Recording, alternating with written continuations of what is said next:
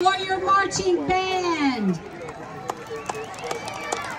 Tonight, the band will be presenting a portion of their competition show, The Island, featuring original compositions by Ryan Todd and Jeff West. The band is under the field direction of drum majors Allison Ray and Carla Ramirez. Drum captains are Emily Little and Jory McKnight. Pit captain is Layla Tudor. Guard captains are Samantha Vickery, Josie Warren, Emma Kate Hauser, and Mariah Montgomery. Soloists for tonight's performance include Jacob Mercer, Cassandra Ramirez, Caleb Taliaferro, Noah Holland, and Tanner McCord.